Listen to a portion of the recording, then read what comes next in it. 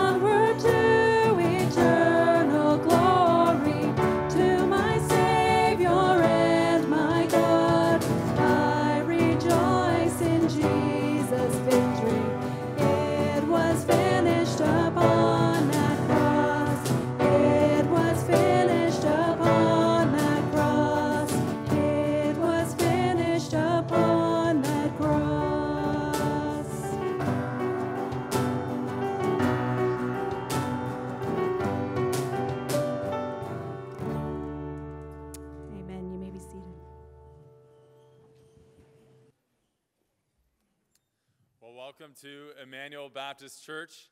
We're very thankful that you're here with us this morning. If you're visiting, I'd encourage you to fill out a Connect card at the uh, welcome desk after the service, and we have a gift for you. Um, and so we're glad you're here, especially as well. Um, it is good to see familiar faces as well. So if you're not visiting, we don't have a gift, but I'm glad you're here. Uh, it's a joy to be together this morning and consider God's word and worship together. We've had a busy month at our church. Um, it's hard to believe the church is kind of back to normal. We have a couple kind of vestiges of, you know, the camps still around, but most of the church is back to normal. Um, and there's been over 200 kids or teens in and through the church hearing the gospel, spending time with our leaders, having conversations at the buses and at the events, um, which is it's an amazing testimony to, to the church and uh, the work of those who volunteered and all the money and effort and donations that were put into it. And so I just want to say thank you. Thank you for all those who put work and money and donations to Teen Camp and then the Kids Camp as well, as well as Armstrong. Um, it, it's an insane four weeks of gospel ministry. Our summer staff were exhausted. Um, and they, they were worn down, but it was good ministry. I think all of them would say they were super thankful and happy to do it and wish they could keep going and do more. Um, because it was awesome to be united together on mission. Um, I know I felt that, and I'm sure, and most of them felt that as well. A couple announcements as we begin our service. So, uh, next Sunday, there's no Sunday school for the kids or the youth. Everyone is in the service. Um, that's next Sunday. This Sunday, this Sunday, we do have Sunday school for the kids, and then but the youth are going to stay in the service. Tim's doing uh, a sermon in Proverbs on friendship, and so we thought it would be helpful to have our youth in with us for this Sunday. And then next Sunday as well, after this service, for those who are interested in baptism on the 13th, we're going to have a final meeting um, after the service next Sunday in Pastor Tim's office. And then the baptism Sunday is two weeks away, so August 13th uh, in the evening down at Port Blake Beach. Um, and so we're excited to see, to celebrate new life in those who are getting baptized. Some, some are recent Christians, some have been Christians for a long time, but they're just taking that step of faith. And so we're excited for that time. That's August 13th. And then if you um, are on the church emailing list or on, get our weekly emails, you would have received a statement on biblical sexuality um, and genders and marriage and all of those fun topics. And so um, this is, it's a really important statement for our church um, to, to protect us and also to clarify our views and um, what we believe and how we're going to practice. Uh, and so I'd encourage you, if you haven't had a chance yet, to read that carefully. Um, and then we'll have a q&a night on september 17th and so just so that we can have conversations about it and everyone can be on the same page and know why we're doing it and, and the purpose um, and then you know generate more discussion if we need to have it. That'll be September 17th, and that's on biblical sexuality. If you didn't get the email, fill out the Connect card or send an email to the church. That way you can get added to our email list to get those emails. That's enough of announcements. I, I'm excited to be in God's Word today. So let's go back there. I'm going to read from Psalm 32. Blessed or happy is the, is the one whose transgression is forgiven whose sin is covered. Blessed is the man against whom the Lord counts no iniquity, in whose spirit there is no deceit. And here's why For when I kept silent, my bones wasted away through my groaning all day long. For day and night your hand was heavy upon me. My strength was dried up as by the heat of summer. I acknowledged my sin to you, and I did not cover my iniquity. I said, I will confess my transgressions to the Lord and you forgave the iniquity of my sin. Many are the sorrows of the wicked, but steadfast love surrounds the one who trusts in the Lord. Be glad in the Lord and rejoice, O righteous, and shout for joy, all you upright in heart. Let's pray. Father, we are thankful for your grace, your kindness, and keeping us over these last four weeks as much gospel ministry has gone on and for blessing all those who participated. And Father, we th- we're thankful for the ways that you provide and care for each of us individually, the way that you've worked in our hearts and our lives this week. And yet it's so easy to have our minds focused on the here and now, on materials, on needs, on struggles, or on desires, or on successes. It's so easy to forget about Christ and the gospel. And so, Father, we ask now that you would reorient our minds and our hearts towards what you've done through Christ. Would our happiness not be based on the things of this world, not on the material blessings that you've given us, but on the greatest blessing that is the Son of God dying in our place? And so, Father, we do rejoice this morning. We are happy that you forgive sins because of Christ. And that Christ did say on that cross that it is finished. The work of redemption is done through his death and resurrection. And so we rejoice in Christ. And we ask that as we continue in worship and as we look to your word, you would draw near to us and lift us up from the vain pursuits of this world to eternal glory that awaits us. Pray this all in Jesus' name. Amen.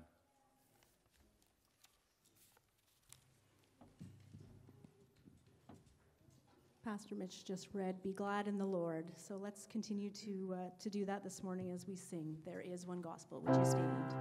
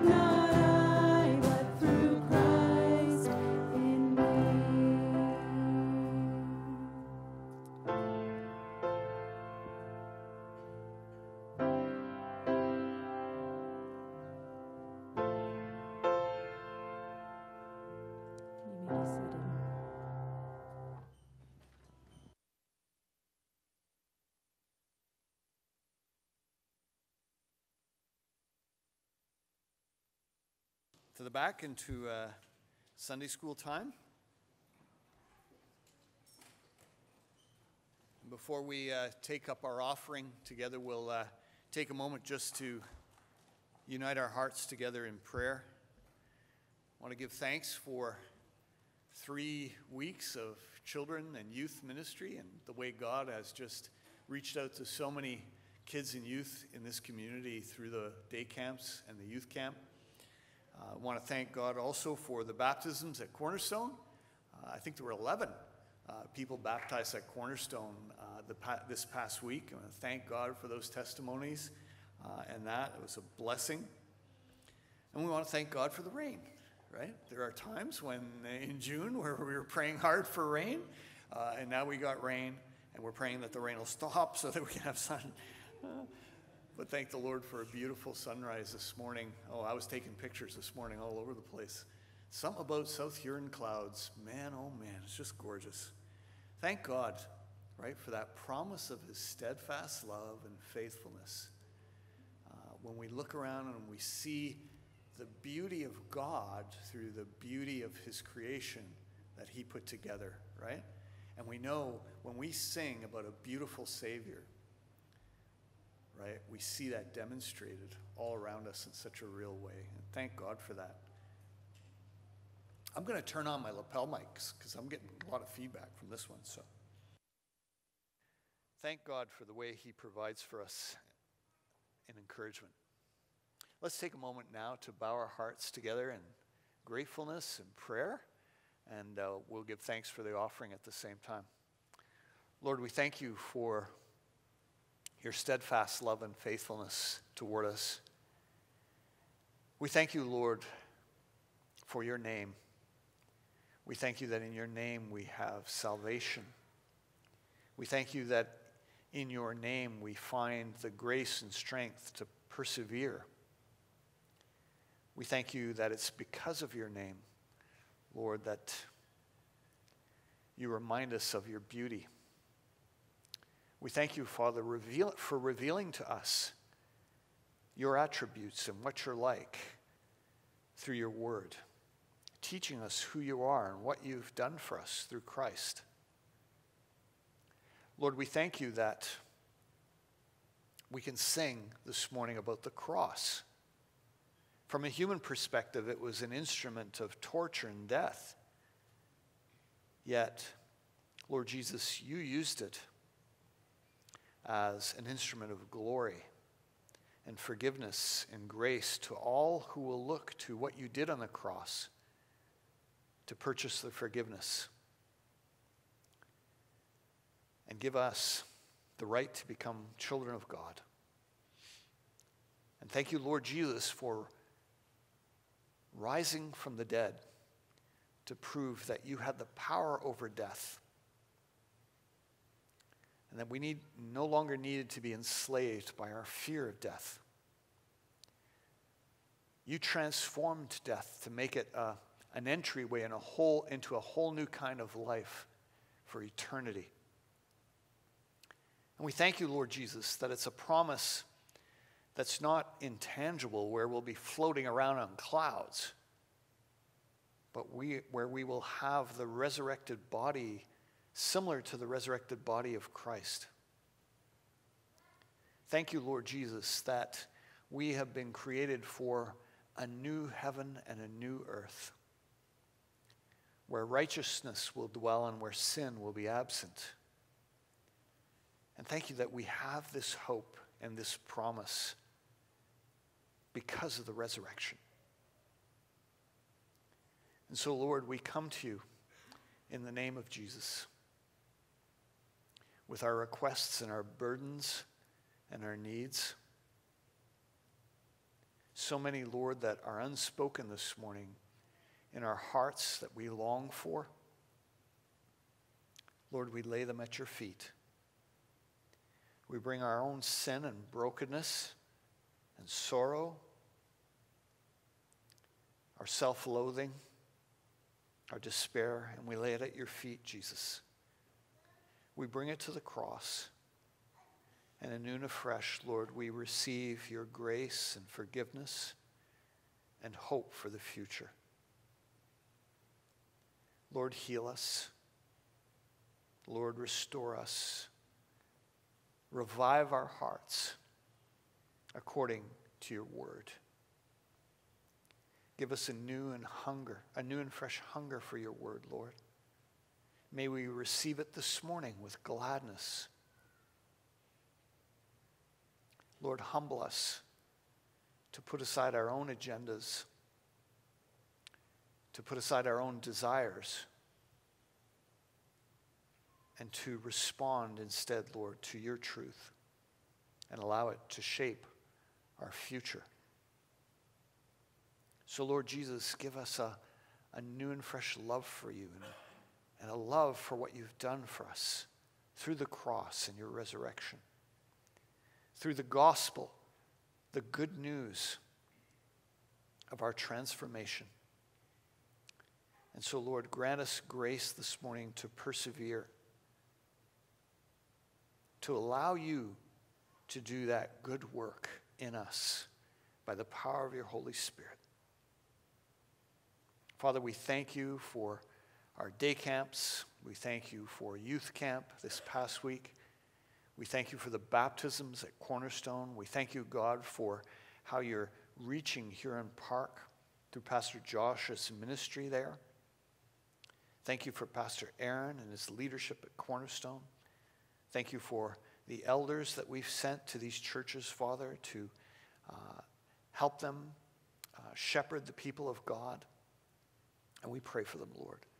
Continue to be at work by your Spirit to give them fruitfulness, to grant them perseverance in raising up new disciples, to reaching their communities for Christ. Father, carry them, we pray.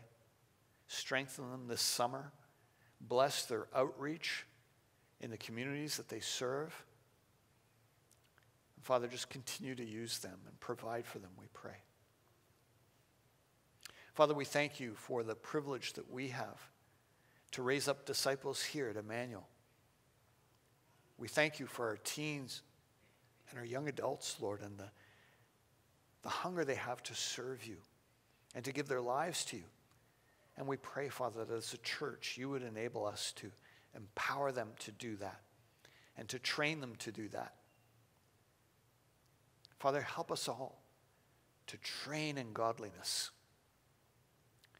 to train to be on mission. Father, the, the harvest indeed is ripe all around us. Thank you for many of the new families that you've been bringing to this community, Father. Thank you for their hunger for you and their desire to connect into a community of faith. And Father, we pray that you would be help, help us be faithful with the people that you send to us.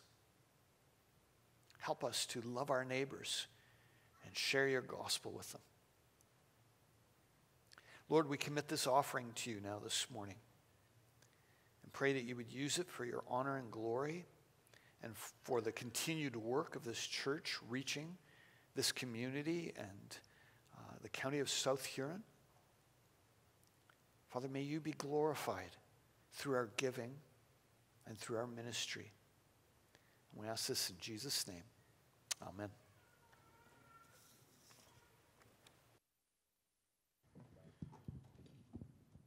This time, we'll invite the ushers forward.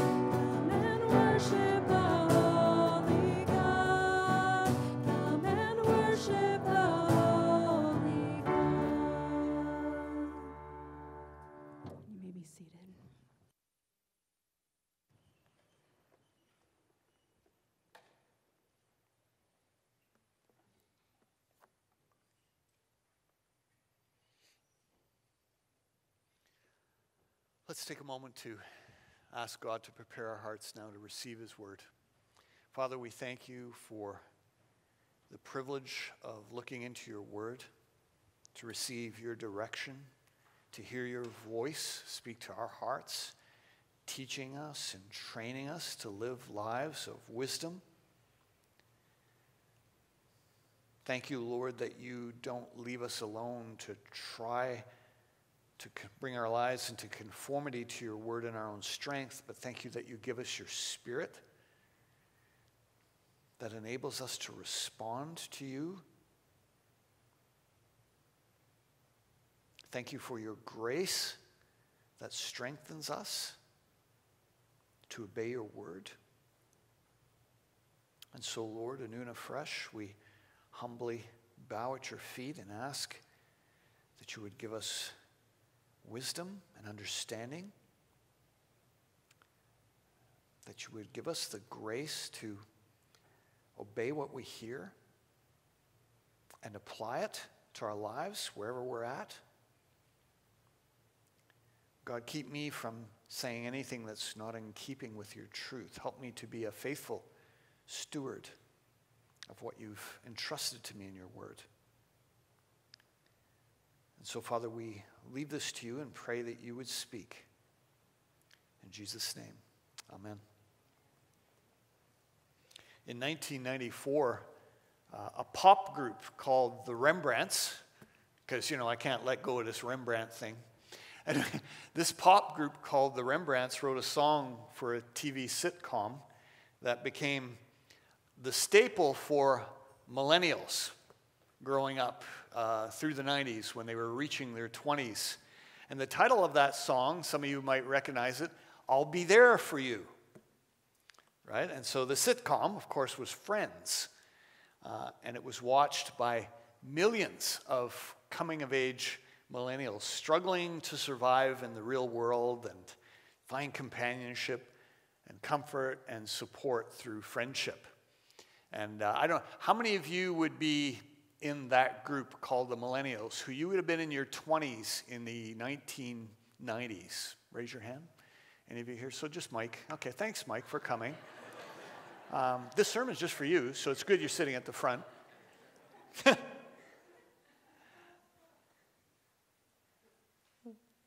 that generation of young people, for them, you know, loyalty and friendship really became more important than anything else in the world. And much of their thinking around friendship and loyalty was focused on what they learned and were taught through culture, and in particular, how culture was shaped by this sitcom called Friends. It's amazing how culture shapes us, isn't it? Uh, and that, that loyalty was unbelievable. It became a greater loyalty than family.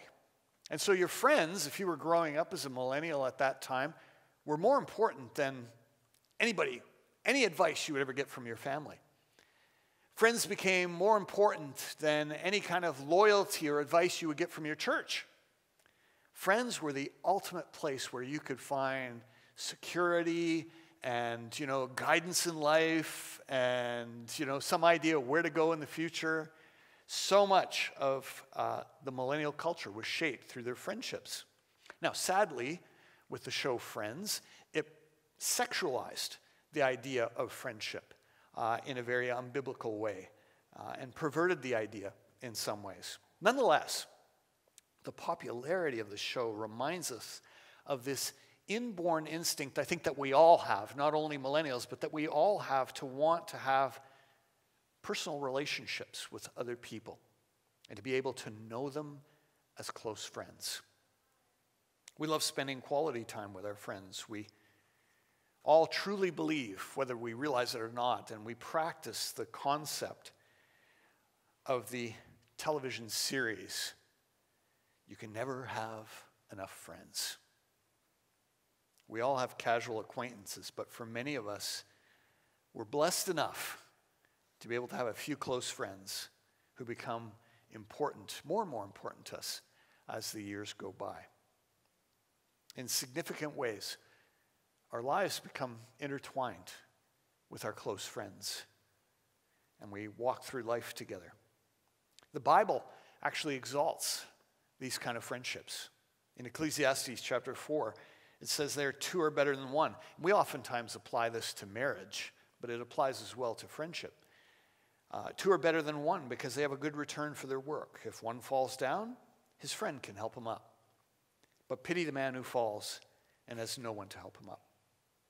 And then in the book of Proverbs 17 17, a friend loves at all times, and a brother is born for adversity. And of course, this proverb suggests that brothers, you know, brothers in our families are a means for protection, right? You have a big brother and they kind of watch over you and protect you, and they're obligated by that family relationship to be there for you. But the difference is, a friend actually chooses you. When someone loves you at all times, even in the good and bad, even though they don't have to, that kind of person is a true friend. So, this and other passages throughout the Proverbs suggest we, we need to learn the discipline of building small groups of people around us that we can walk through life with. People who will encourage us and comfort us and correct us and teach us how to try again when we fail. Proverbs actually offers a lot of advice, interestingly enough, when it comes to wisdom about how to choose friends and the right kind of friends that we should walk through life with and the ones we shouldn't. Uh, and so, Proverbs is a powerful book in that it teaches us right from the get go, especially those of you who are teens this morning, Proverbs was written actually just for you. It's giving you some advice this morning on how to start off into life the right way. And that right way starts with being able to choose friends to walk with you. The right kind to choose, and the wrong kind to learn to avoid. And so, choosing friends is the po- first point this morning. In Proverbs 13 20, we read, He who walks with the wise, and walks is, is French for hangs out and does life with. He who walks with the wise grows wise, but a companion of fools suffers harm. In other words, we need to be very careful who we choose as friends. Generally speaking, as Proverbs says, if you choose a wise friend, you'll become wise.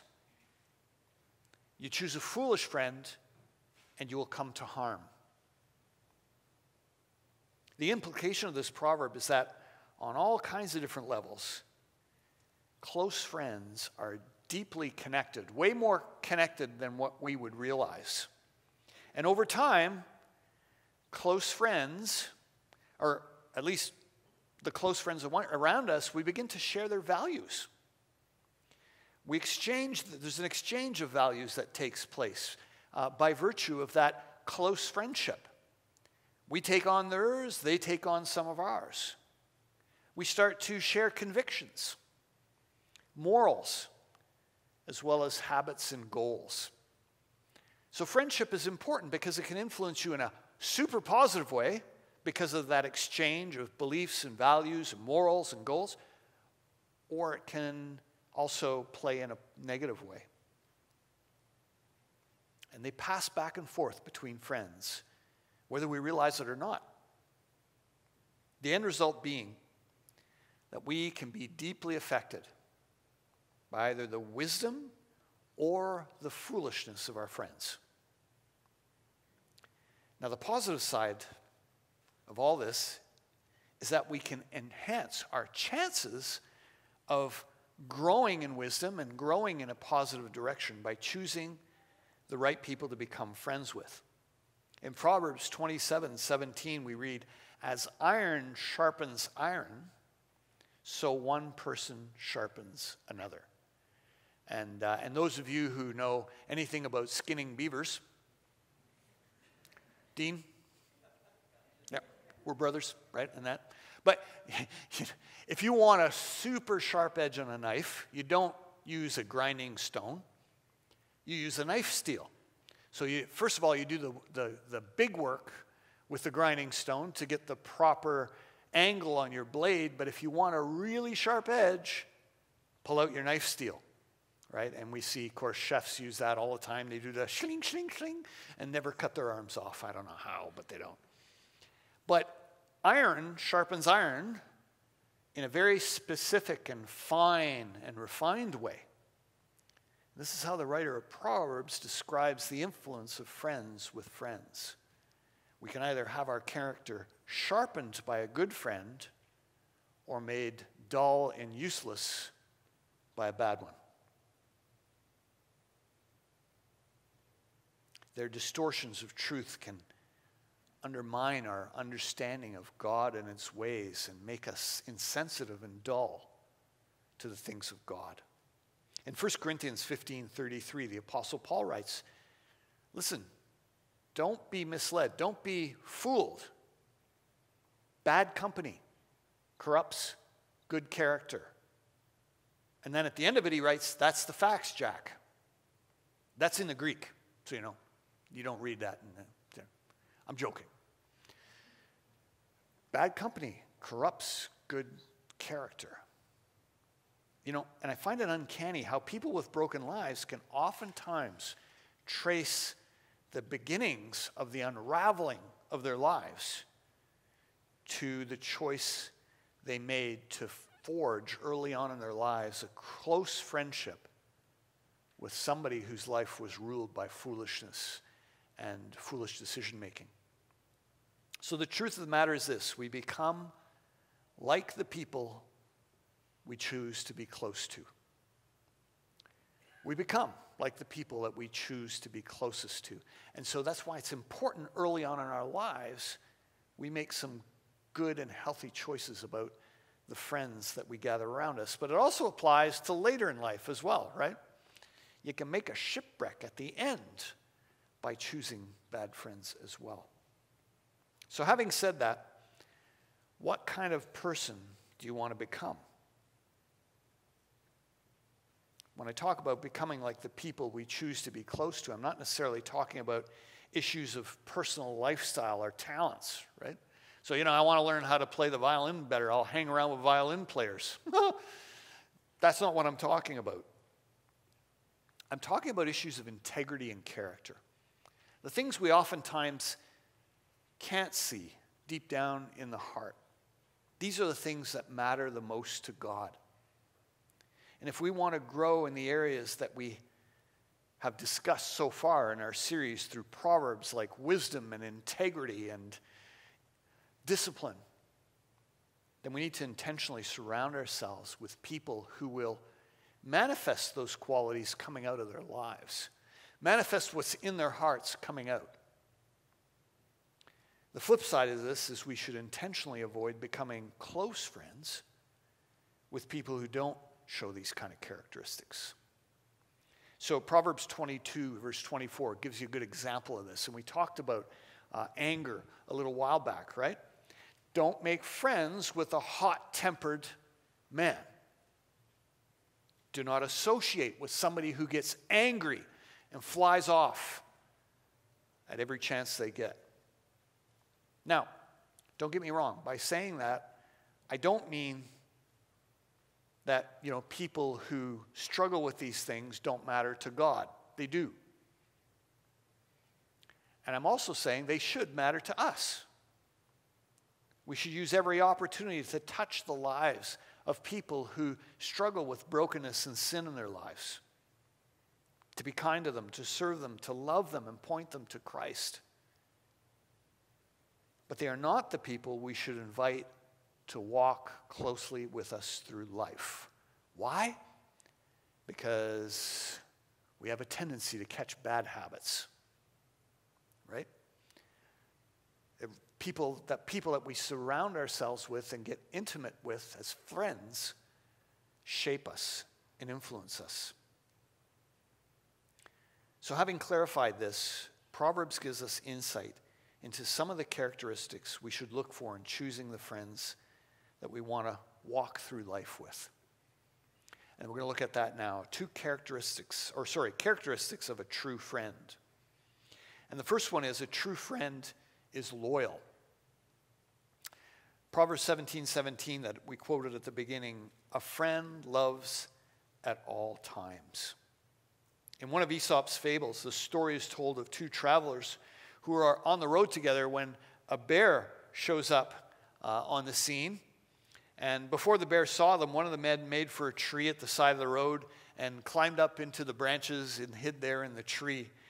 But the other friend couldn't run as fast, and that's always how it goes, right? Always, you know, if you ever want to be saved, you just got to run faster than the person that's next to you. Uh, anyway, he couldn't escape, so he throws himself down onto the ground and does the I'm a dead guy thing, which works, you know, I'm told works fine, you know, with some bears and doesn't work with others. So you got to kind of know which bear it's going to work on before you do that. So the bear, anyway, as the fable goes, you know, found, you know, came up to the guy and started sniffing around him, and um, the guy, of course, just I don't know how he did it, but he held his breath and, you know, stayed stiff and nothing happened. The bear actually took him for a corpse and went away. Then, when the coast was clear, the guy in the tree came down and asked the other guy what it was that the bear seemed to have whispered into his ear uh, before he left. And the other guy replied, He told me to never again travel with a friend who deserts you at the first sign of danger. And of course, the whole point of the, the fable was, you know, true friends stick with us even when the going gets tough. They take the good and the bad with no strings attached. Many so called friends are close as long as the booze and the good times keep coming. Proverbs 19:6 says, Everyone is a friend of a man who gives gifts. You know, some friends are like that, right? They're only there when times are good. When things go bad for us and we go through tough times, they disappear. Proverbs 26 says, Many a man proclaims his own steadfast love, but a faithful man who can find? A true friend loves at all times. A true friend's loyal. A true friend's loyal but not blind, right? We need to qualify that in some ways, and other Proverbs do. The balance of Proverbs teaches us with regard to friendship that we need to have boundaries uh, on that loyalty. And so we see the second point is that a true friend's honest, right? A true friend doesn't only just tell us everything that we want to hear and say encouraging and nice things, but a true friend also is there for us when we need the truth. And so when we talk about honesty, I don't mean only that a, a true friend never tells lies. That's important for friendship, that's important for any relationship. But one of the characteristics of a true friend in Proverbs is that they have the courage and honesty to sometimes tell us what we don't want to hear. So Proverbs 27 6 says, Wounds from a friend can be trusted, but an enemy will actually multiply kisses. In other words, compliment you all the time and be nice all the time. And the implication of this verse is that when we surround ourselves with people who only tell us what we want to hear, they're not really our friends. Real friends speak the truth when the truth is hard to swallow. Real friends expose our blind spots and we all have those, don't we? Doesn't matter who you are. We all have blind spots, things in our own lives that we're just, we just can't see. We're blind to them. It's like, you know, you pull up to the intersection and there's just a little piece of the, inch, the windshield uh, or the support for the windshield that masks oncoming vehicles. And when you, if you happen to by chance look that way at the same time that a car is in that blind spot, what will happen? You'll pull out in front of the vehicle. And, and so we all have those kind of blind spots in our lives, things that we do and say that we can't see ourselves doing and saying. And we need friends to sharpen us and teach us about those aspects of our character that we're blind to. The difference between a, a wound from a friend and a wound from an enemy is that the wound from a friend is gracious and it's designed to actually build us up and help us and not tear us down. An enemy's wounds tear us down and often are designed to make us feel inferior and build them up in their own eyes in the context of an unbalanced, an unequitable friendship. Proverbs 27 9 says, Perfume and incense bring joy to the heart. I'm not an incense fan. Not a big fan of perfume either. But you know, generally speaking, you know, for some people, it brings joy to their heart. And then it says, the pleasantness of one's friend springs from his earnest counsel. And the idea there is that earnest counsel is a, a sweet fragrance, right, that, that brings joy.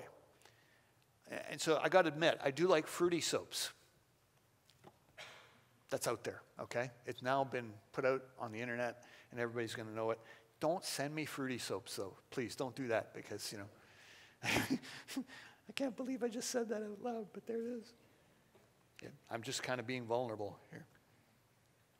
But it's like fragrance that brings joy to us, like smelling strawberries or fresh cut grass, right? Counsel from a friend builds us up.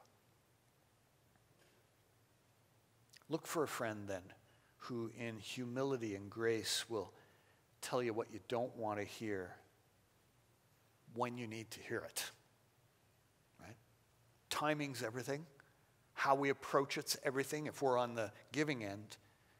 But if we're on the receiving end, sometimes there are times when we need to have our blind, spots exposed in a gentle and gracious way. But avoid friends who will, you know, provide excuses for their bad behavior. Proverbs 22:10 says, "Drive out a scoffer, and strife will go out, and quarreling and abuse will cease." We've got to be able to recognize scoffers when they come into our lives who mock God and mock everything that's right. And Scripture says, drive them out.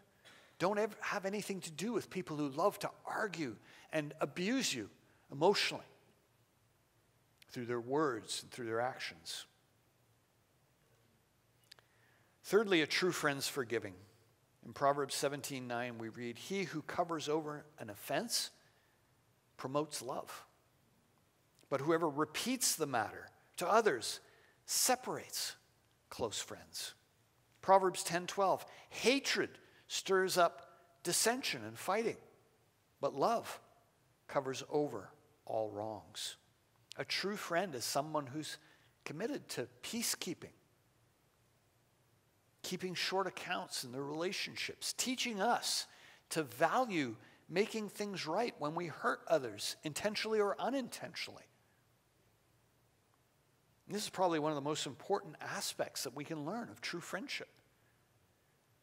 You know, a true friend has the grace to overlook our idiosyncrasies and, and sometimes our boneheadedness, which we all struggle with, but also has the courage to confront us when we need to be and when we've crossed that line. And of course, wisdom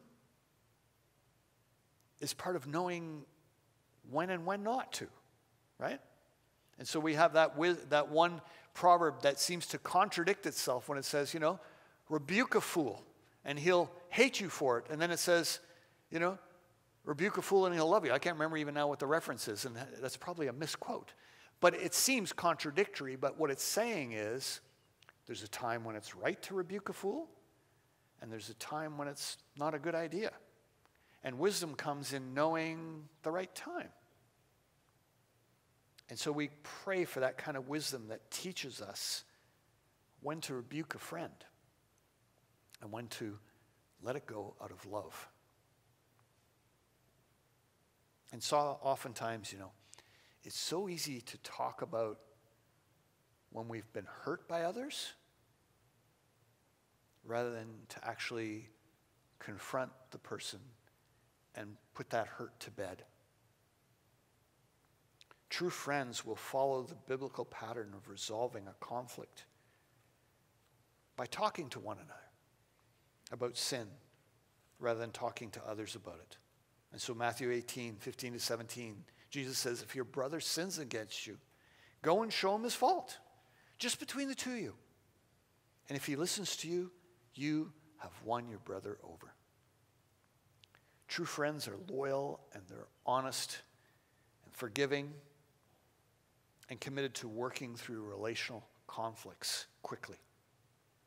And so, for that reason, you'll see number three friendship takes work. you know, it's a lot of work. You know, don't entertain the illusion this morning that, you know, you'll be sitting around your house and all of a sudden you'll hear a knock on your door and there's three people who want to be your friend. hey, we were just thinking about, it. we want to be your friend. That's not going to happen usually, right? And if it's happened, it's probably because you won the lottery and you should probably be locking your door, not opening it. That's not how, not how friendship works. It, it takes work. We each need to take initiative to surround ourselves with godly people and, and make the effort of getting close to them. You know, the danger is it's, it's just too, it's, it's so easy sometimes to stay with the status quo. You know, I got this group of friends, you know, or I got, you know, this family, and, and you know, I'm not going to risk making new friends because that's just scary. And, and I like the security that I'm feeling right now. But the reality is, we, we need to continually be making new friends. And by the way, now I'm speaking to those of you who are gray haired or hairless, as myself. What happens the older you get? Well, you know, we all have to face the reality that the older you get, the more your friends kind of disappear. They move, or they die, or circumstances change.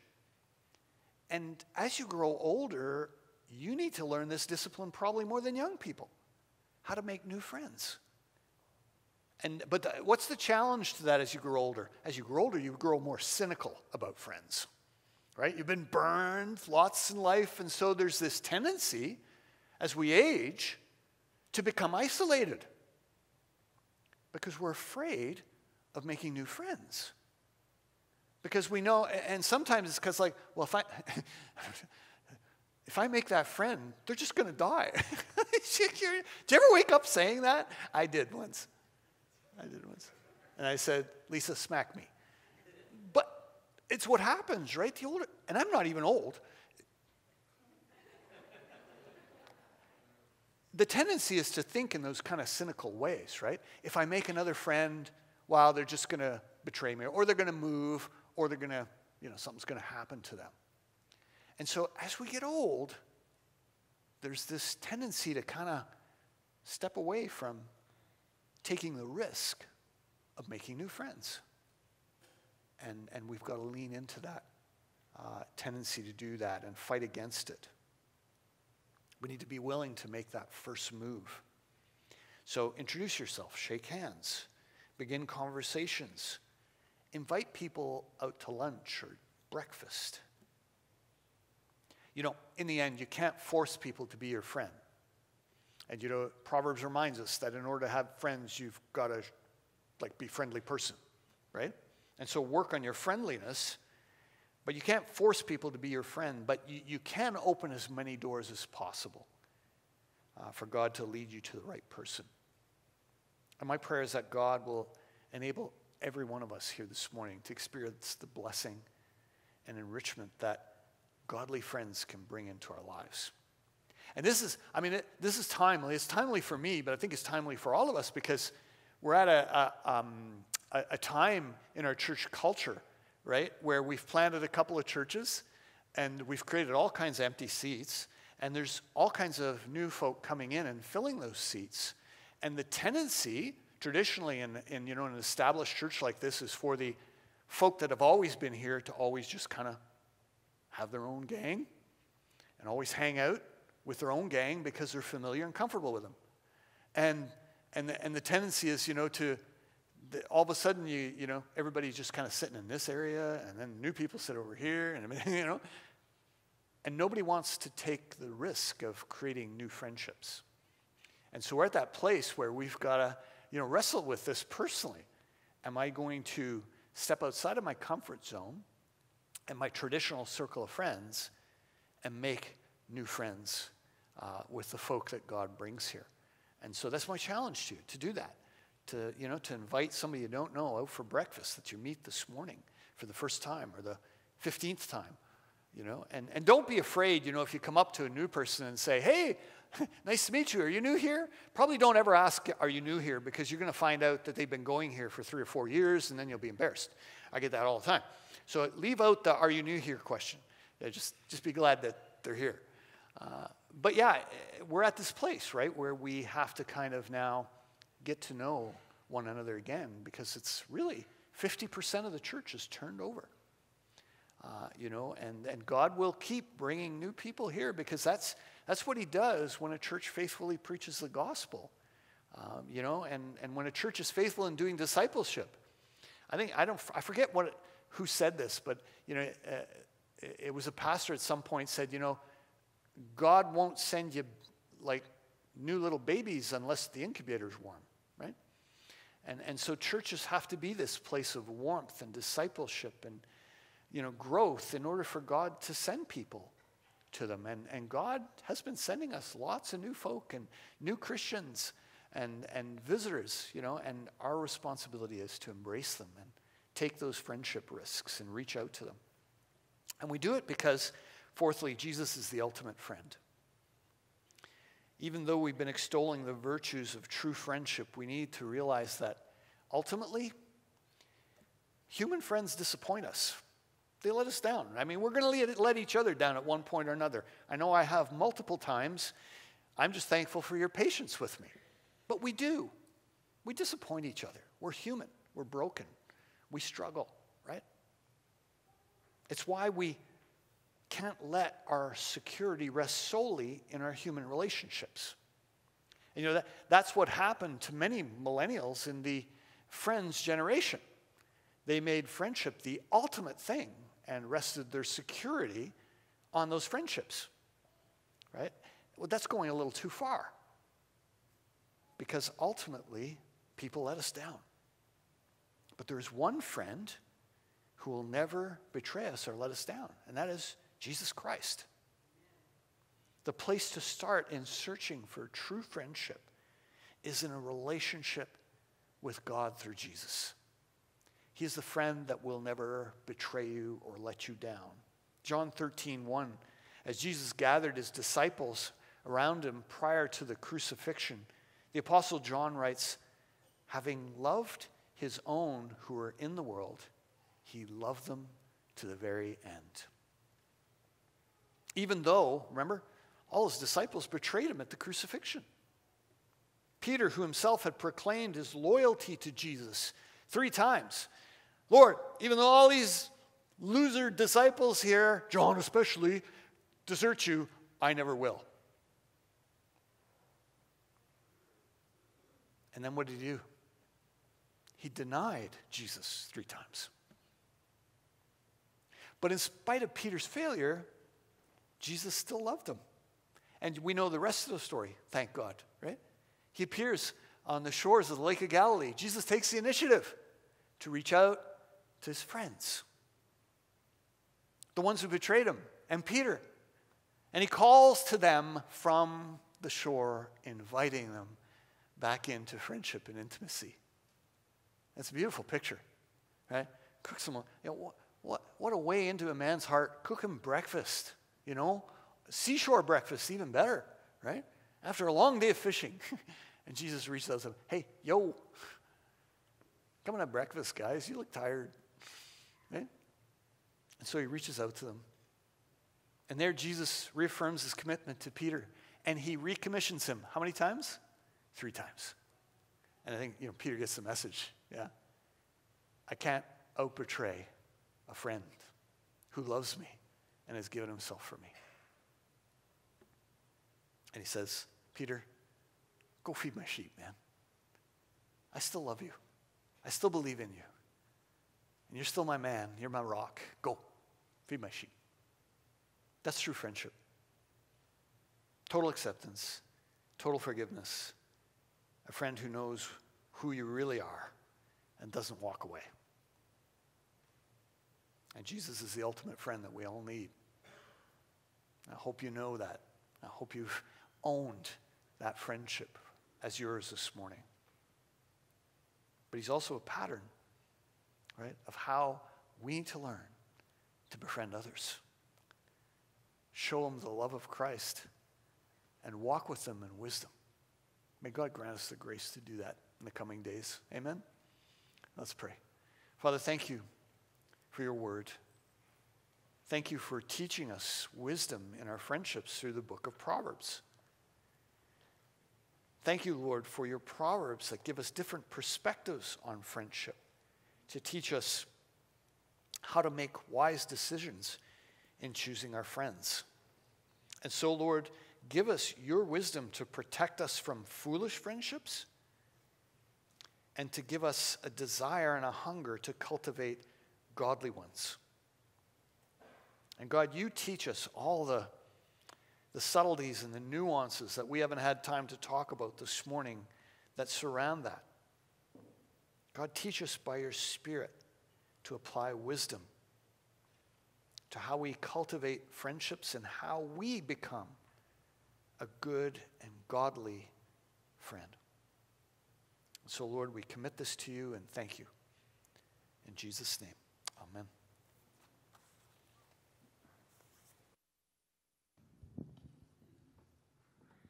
As we close this morning, would you stand with us and let's uh, sing together again? It was finished upon that cross.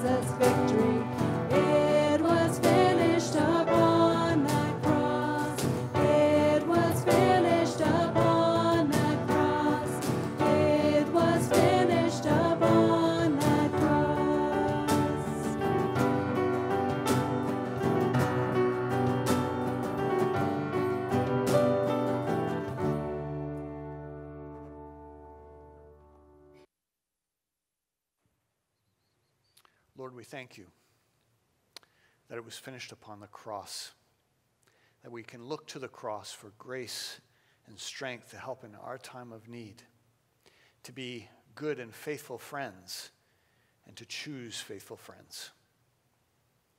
Father in heaven, we pray that you would grant us wisdom in these things in the days to come. And we thank you that we can look to Jesus, the author and finisher of our faith, to bring to completion that good work which he's begun in us until the day of Jesus Christ. And so we look forward to that day. In Jesus' name, amen. Go in peace.